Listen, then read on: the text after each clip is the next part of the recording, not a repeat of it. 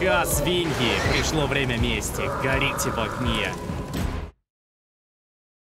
Давайте поговорим на чистоту. Вот эта хрень не работает.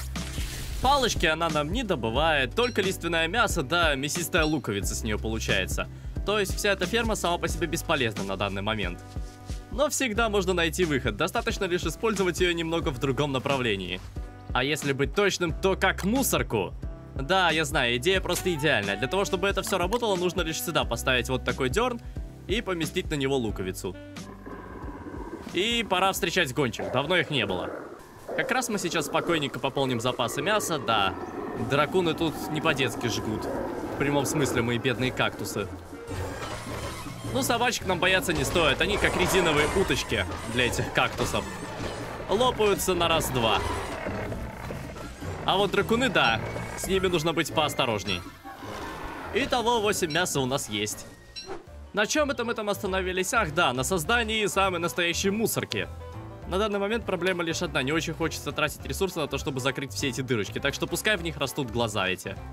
Однако палочки следует отсюда убрать. Пересаживать саженца это крайне-крайне сложное дело, уж поверьте мне. Заняло целых полтора дня. Зато более-менее с одной проблемой мы разобрались. Теперь это не ферма, теперь это мусорка. Ну, примерно столько штук насобиралось со всей базы. Хотя я еще и немножечко оставил на прозапас. Мало ли понадобится когда-то. Однако, что там по нашей дороге? Вроде бы мы ее делали, делали, но так и не доделали. Думаю, самое время это исправить. Да, пчелы красивые, все ведет прямиком сюда. Примерно 10 брусчатки понадобится прямо сейчас создать. Дальше сюда вести не будем, потому что мало ли, что мы тут еще придумаем построить на этой огромной территории. А меня очень напрягает этот огненный гейзер. Они как извергнутся, так и зажгут всю мою поляну прекрасную. А еще ты будешь идти по дороге, и тут бац, и у тебя под ногами извергается гейзер, и ты сгораешь заживо. Думаю, дорога получится крайне веселой. Есть одна хорошая новость. Тут в радиусе 5 на 5 блоков нету ни одного гейзера, который извергается. Ой, паучки, извините. Зато тут есть кокон, который меня немного подбешивает.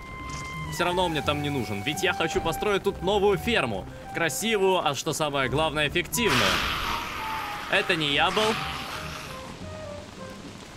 Поспите, ну не на моей же базе. Ну что ж это такое-то, а? Все, он ударил, и теперь раз, два, три. А, три удара. Нормально, все. Сейчас тогда их всех вынесем по-быстрому. Ай! В смысле ты проснулся? Я ж тебя... Ну как неприятно-то, а? Факим, ты, конечно, извини, но ты обойдешься без противоядия. А вот мне было бы неплохо его добыть. Что там нужно? Ага, железа, водоросли и кораллы. Кораллы есть? Да. Ох, выпей противоядие. Отлично, идем дальше работать.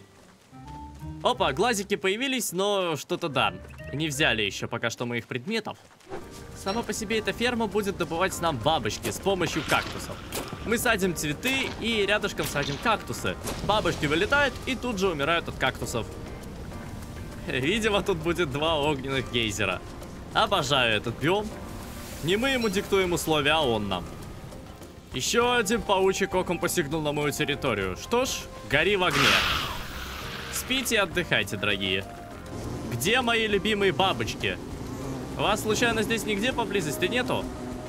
А, да, вот она есть одна. Да не бей! Поймать! Зачем бабочку-то бить с очком? Нужно сидеть и выслеживать, как будто на охоте. И, видимо, пчелы их спугивают своим жужжанием громким. Если вдруг не знал, то от этих бабочек очень много пользы. Особенно, когда они мертвые, а не живые. К примеру, с них может выпасть масло, которое восстанавливает сразу 40 хп. Или из этого масла можно приготовить шикарные блюда. Кактусы, как бы вас сажать? А, нельзя так, что ли? А, вот в чем прикол. Кактусы можно сажать только на этот биом. Ничего страшного, всегда можно немножечко схитрить. Все в один момент симметрично, а в другой момент вообще ни капельки не симметрично. В моем стиле. Нужно огородить всю эту территорию деревянным забором, потому что тут недалеко, где-то в метрах 50, находятся пчелы. Эти пчелы были бы не прочь посягнуть на мои цветочки, а их охраняют кактусы. Думаю, вы понимаете, к чему я клоню. Все же хотелось бы, чтобы нам кто-то производил мед. Пожалуй, отлучимся немного от фермы с кактусами, потому что тут выросло очень много пальм с кокосиками. Ай! И ведь это прекрасная новость, потому что мы можем засадить сюда наши кокосы. Падайте мне хоть на голову, главное, чтобы побольше было.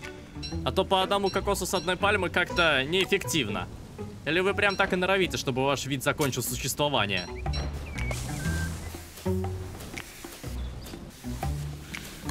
Торжественный момент. Все пальмы посажены. Выглядит уже достаточно красиво. А представьте, что будет, когда они все прорастут. Твои глаза будут плакать от счастья. Вау, неужто это забор сам по себе сделался? А я скажу нет, это тяжкая и очень долгая работа. Получилось даже добавить дизайнерские штучки. Смотрите, как двери открываются.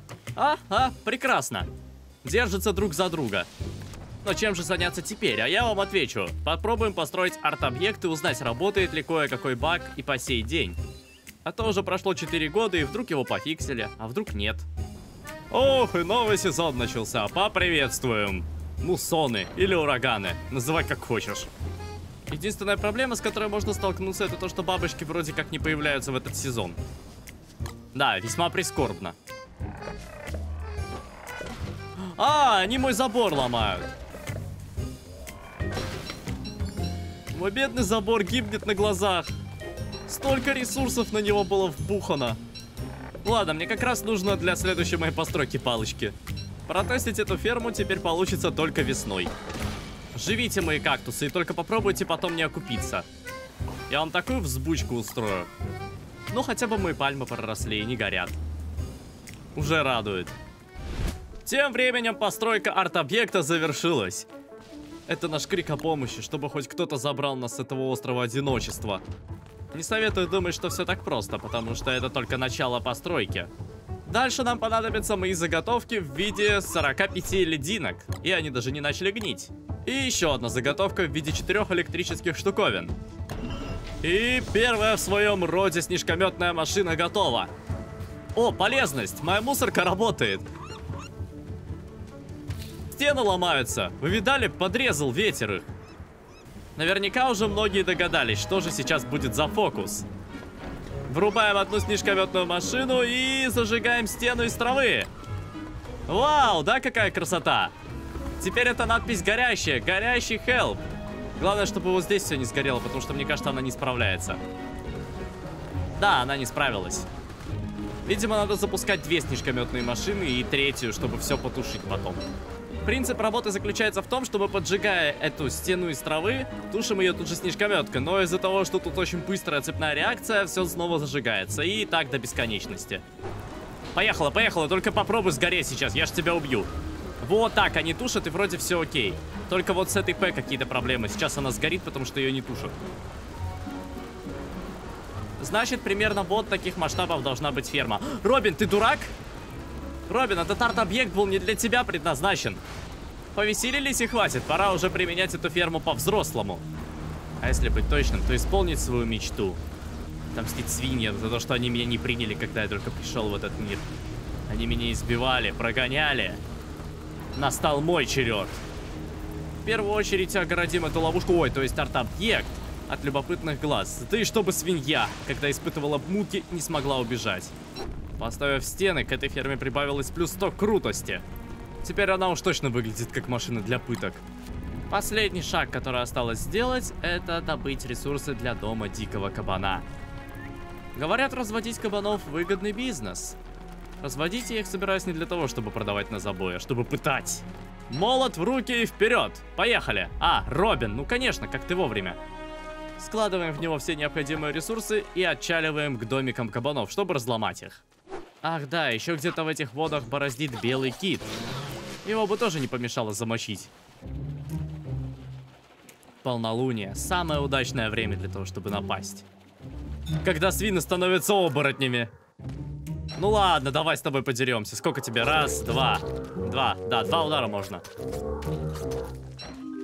А ведь я еще твой дом даже не раздолбал. Надеюсь, сейчас отсюда никто не вылезет. Нет, вылезет.